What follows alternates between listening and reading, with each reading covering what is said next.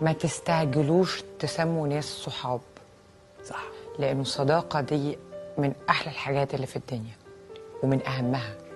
ما تستعجليش إنك تقولي إن البنت دي صاحبتي. ما تديش سرك لحد إلا لما الحد ده يثبت تمام الإثبات إنه يستاهل الثقة. وأنا بقول الكلام ده عن تجربة شخصية. ما حصلتليش غير مرة واحدة الحمد لله يا رب في العمر واتلسعت.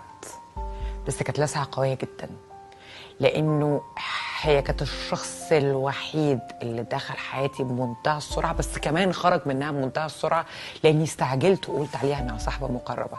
أما باقي أصحابي كلهم فرق معايا 10 و12 و15 و20 و25 سنة كمان. الحمد لله رب العالمين. أرجوكم ما تستعجلوش تسموا ناس صحاب إلا لما يكونوا بجد صحاب.